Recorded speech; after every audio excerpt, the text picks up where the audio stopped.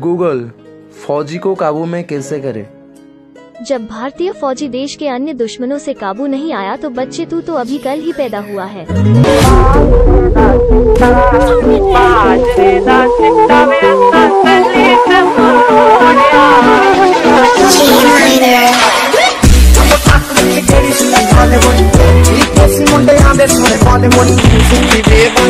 है